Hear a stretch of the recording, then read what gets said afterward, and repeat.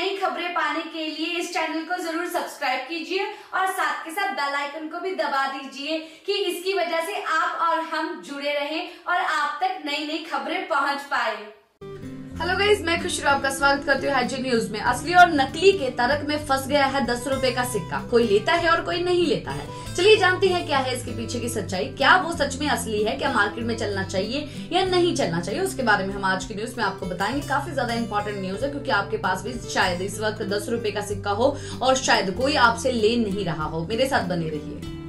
जैसे कि आप लोग को पता है कि दस रुपए का जो सिक्का है वो मार्केट में चलता है। कुछ लोग लेते हैं, कुछ लोग नहीं लेते हैं। अगर आप लोग दुकानदार को आप दस रुपए का सिक्का देते हैं कभी कभार आपके सामने ऐसी सब चीज़ें आ जाती है कि दुकानदार आपको बोलता है कि ये सिक्का नहीं चलेगा। अगर आप पूछते तो वो बोलता है कि कोई ग्राहक नहीं लेता। अगर ग्राहक से पूछते हैं कि दस रुपए का सिक्का क्यों नहीं है तो वो बोलते हैं कि दुकानदार नहीं लेता है। और इसी के चलते चलते कोई भी ये सिक्के को एक्चुअली यूज़ नहीं कर रहा है। कोई बोलता है असली है, कोई बोलता है नकली है। कोई बोलता है, ले लेता हूँ, कोई बोलता है कि नहीं ले सकता है।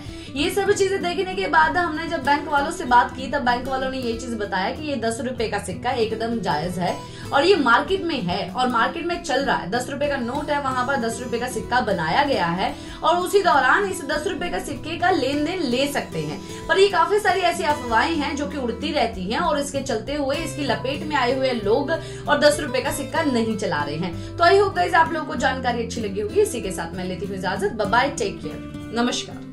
अगर ये खबर आपको पसंद आई हो तो आप वीडियो को लाइक करें, चैनल को सब्सक्राइब करना ना भूलें। Thanks for watching H news.